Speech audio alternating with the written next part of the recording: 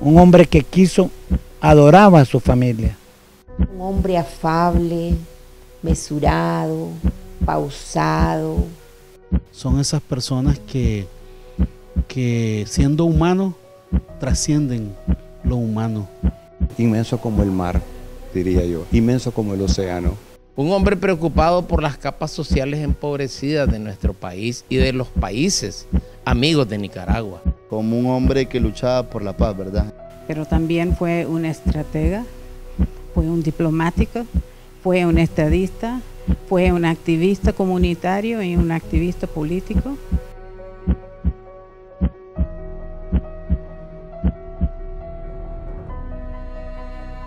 Desde muy temprana edad, Miguel de Escoto Brockman se sintió identificado con los más desposeídos. Soñaba con un mundo donde no existiera injusticia social, donde prevaleciera el amor al prójimo, la paz, la no violencia y la unión de los países. Le mandaba dinero a su papá para que comprara ropa y se lo regalaba a la gente y él no compraba nada. Le mandaba un, un dinero para que comprara un carro, lo agarraba y se lo regalaba a la gente. O compraba libros. Eh, él amaba, él, él, se disponía, se daba, daba su tiempo, daba su, su corazón y, y, y, tengo que decirlo también, hasta su dinero, vamos, para, porque no era solo de palabras, es decir, no, era algo que te voy a apoyar y, algo moralmente, no, también lo hacía en, en la realidad. Vino él y dice, voy a vender una finca y voy a ayudarle a los pobres. Y se fue a San Juan de Oriente y se fue a ayudarle a todos los alfareros. A todito la mayoría de los alfareros del San Juan de Oriente en el nombre del Frente Sandinista, no en el nombre de Miguel de Escoto. No solo con San Juan de Oriente, con Chile. En Chile regaló todo lo que tenía a la gente pobre y trabajó solo con la gente pobre. Su vocación por el sacerdocio le permitió trabajar y empoderar a los grupos vulnerables y empobrecidos de diferentes partes del mundo. Su decisión de luchar por el bienestar del pueblo no fue bien vista ante la alta jerarquía católica. Como consecuencia, se le prohibió oficiar misas, aspecto que marcó profundamente su vida. Entonces a él lo pusieron en un aspecto de quererlo, de quererle quitar derechos. Y él dijo, me quedo con los pueblos, me quedo con la población y me quedo trabajando por y para el pueblo. Si a Cristo lo crucificaron, dijo él, y a mí me están haciendo eso, no tengo rencor. No tengo rencor, hijo mío, pero me dolió. Me dolió, dice, porque me están apartando lo que más me gusta, dar los mensajes estar con las comunidades. Para él fue un sueño realizado cuando eh, el padre Bergoglio le levanta la suspensión eh, que le había impuesto Juan Pablo II.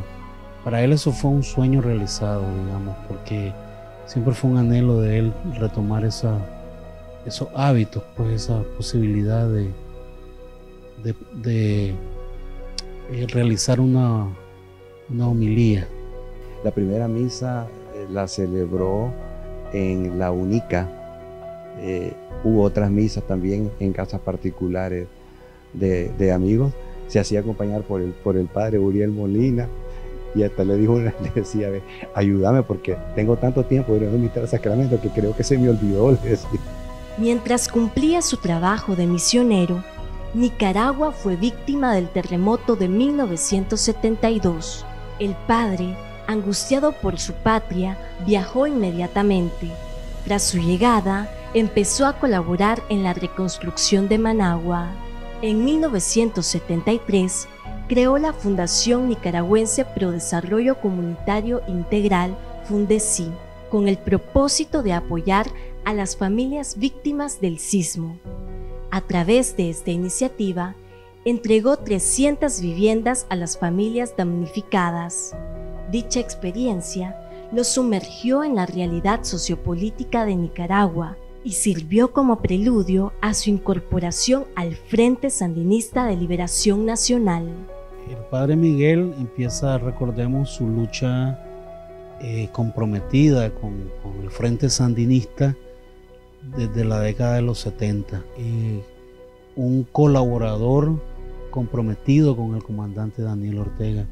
En algún momento él me llegó a expresar de que eh, Daniel representaba, representa, el comandante Daniel representa eh, ese compromiso inclaudicable, ¿verdad?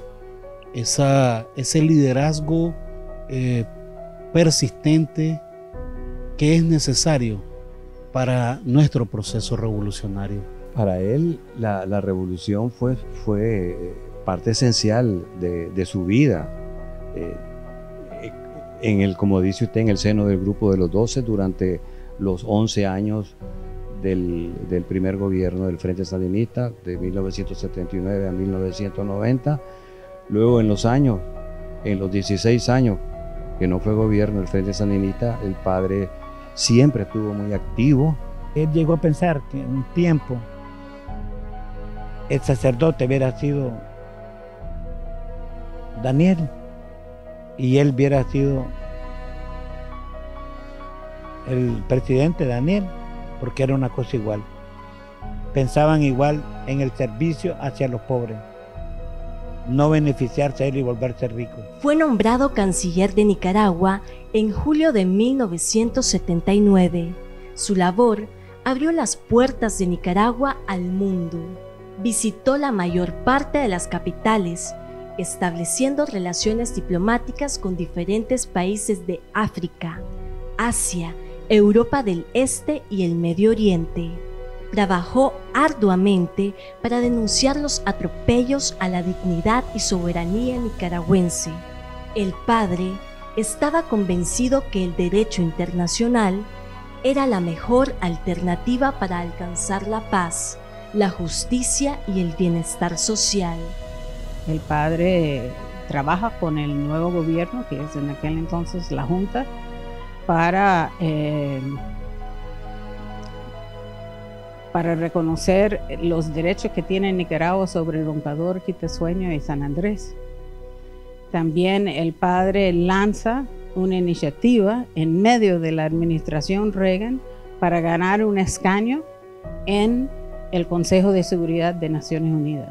Por eso Nicaragua ahora tiene eh, mares, mares que son conforme a la Convención de Derecho del Mar, pero también, aparte del aporte marítimo, es la gran osadía que tuvo el país, osadía en términos positivos, de demandar a los Estados Unidos en la Corte Internacional de Justicia de, de, La Haya por agresiones que Nicaragua sufría. Habían muchas voces detractoras sobre el éxito de que esa demanda contra Estados Unidos fuera exitosa. Decían, ¿cómo es posible que la Corte Internacional de Justicia pueda obligar al país más poderoso del mundo? Había muchos detractores y lo hizo. Y pusimos la demanda en el 84 y en junio de 1986 se ganó el caso. Entonces ese también es un caso señero de la labor del padre de Escoto como canciller. Aun cuando él no fuera el canciller, nos reuníamos para para ver cómo estaban las cosas con el río San Juan, con Costa Rica, cómo estaban las cosas con Colombia. Nosotros siempre hacíamos ensayos de cómo se debería eh, eh, llevar los juicios eh, cuando, cuando, el, gobierno, cuando el, Frente Sandinista volviera a ser gobierno otra vez. El arsenal de argumentos lo tuvimos siempre listo.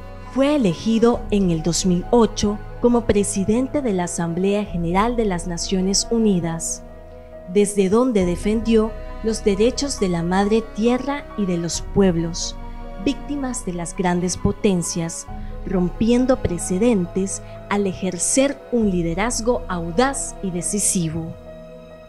Por su destacada participación en la ONU, fue y sigue siendo recordado como un presidente revolucionario, estratega, beligerante e innovador. Él tuvo un liderazgo en las Naciones Unidas como presidente de la Asamblea General que ninguno otro lo ha tenido. E, e, es más, estaba invisibilizado el cargo de, de presidente de la Asamblea General de Naciones Unidas. Él llegó y puso en primera plana la Asamblea General como el órgano más inclusivo del mundo. Decía, el G192, se habla del G10, del G7, del G8, del G20, y por qué no del G193, es el órgano más inclusivo del mundo. A él, a él se lo debemos. Y parte de su agenda era la revitalización de la organización. Y quería comenzar con una tarea muy importante que era la reforma del Consejo de Seguridad. El 15 de septiembre nosotros amanecemos y en todos los medios, en todos los periódicos de Estados Unidos están hablando de la quiebre de Lehman Brothers. Y es el inicio ya de la crisis financiera y económica mundial. Pero el padre dice, pero nadie habla de esto en la Asamblea General. Esto tiene que ser discutido en la Asamblea General o para qué sirve. Y la Secretaría General venía con los argumentos de lo que vienen de las instituciones financieras, de Bretton Woods, lo que es el Fondo Monetario y el Banco Mundial, y decían, no están a la altura, es que no entienden los temas que hay que discutir, no tienen los conocimientos técnicos, el expertise económico para entrar en debate de estos temas. El padre no lo creía, pero de todos modos decía, si no lo tenemos, lo vamos a adquirir. Fue la presidencia más proactiva que ha habido en setenta y pico de años de Naciones Unidas. Ese es un gran legado del Padre también. Ahí también retomo lo que yo dije, osar es poder. El que no osa no logra. Los sueños de ahora son las realidades prematuras del mañana. Los múltiples aportes que el Padre realizó en el campo de la política, la espiritualidad, la historia, el derecho internacional, la educación y el medio ambiente han sido motivos de debates entre académicos y estudiantes. Como académico, era un hombre apasionado en recolectar toda la información o todos los estudios que de historia sobre Nicaragua se hiciera fuera a nivel nacional como internacional. Eh, compartíamos varios jóvenes de primer año a quinto año de, la carrera de ciencias políticas, donde nos preguntaba el padre Miguel que cuál era la principal amenaza para la seguridad mundial, si el terrorismo, eh, el cambio climático, las armas nucleares o los Estados Unidos. Entonces en esa dinámica académica de discusión del sistema internacional, de la geopolítica global, conocimos al padre Miguel, siendo muy jóvenes nosotros aún, en la materia y en la carrera. Él es este, un convencido de que debemos de salir de la visión antropocéntrica del mundo. O sea, nosotros como humanos solo somos una parte de esa creación divina. Y él insistía mucho en los derechos que tienen las otras especies, ¿verdad? Además de los nuestros. Hace a solicitud del presidente Evo Morales una presentación de cómo se podría proceder para crear un tribunal de justicia climática y protección ambiental. Y quiere reconocer la responsabilidad de los estados, pero también de las corporaciones y también de los individuos para el daño que causan al medio ambiente. Eso es una cosa innovador, digamos, en el derecho y en el sistema de Naciones Unidas. Su amor por el arte y la cultura nicaragüense se ven reflejados en su hogar en cada rincón se encuentran múltiples piezas hechas a mano por artesanos nacionales e internacionales. Uno de los últimos proyectos en el cual estaba trabajando fue la creación del Centro para las Artes, la Cultura, la Historia y la Espiritualidad, anhelo que no logró realizar. Fue en el, último año que hablamos sobre eso y que estaba tratando, digamos, de recuperar todo lo posible, digamos, todos los documentos, obras, pinturas, cerámica y pensaba en hacer, digamos, una infraestructura para eso, pero bueno, ya la enfermedad ya, ya fue muy difícil para que él pudiera Y mucho insistió él en la espiritualidad nicaragüense, en la conservación, en la protección de, nuestro, eh, de nuestra cultura ¿verdad? Fue un, un, este, enamorado de la cultura nicaragüense. El padre siempre decía, ¿cómo es posible que la gente son capaces de gastar bastante dinero para adquirir una pieza hecha a mano en Italia, en España, donde sea? Pero no reconocen, no dan valor a lo que hacen los artesanos nicaragüenses. Él quería que se conociera porque decía, se tiene que desarrollar un profundo amor y, y dedicación a conservar esta identidad y entender la cosmovisión de nosotros, de nuestros ancestros.